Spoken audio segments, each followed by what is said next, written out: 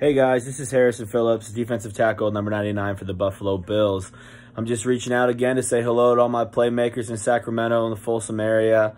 Um, wanted to let you guys know about a super cool event we're going to get going on. It's Harrison's Playmakers Special Needs Basketball Game. It's going to be Saturday, November 16th at Oak Hills Church. It's a free event for all participants, 10 o'clock to 1 o'clock. It's going to be music, dancing, fun stations, and most importantly, basketball. So come out, enjoy some of Burgess Brothers' amazing waffles. They're going to be there for some good brunch on a nice Saturday. Uh, play some unified basketball, even challenge Coach Roz to a slam dunk contest. Obviously, if I were there, I would I know I could beat him in horse, so that's at least one thing I got in my sleeve.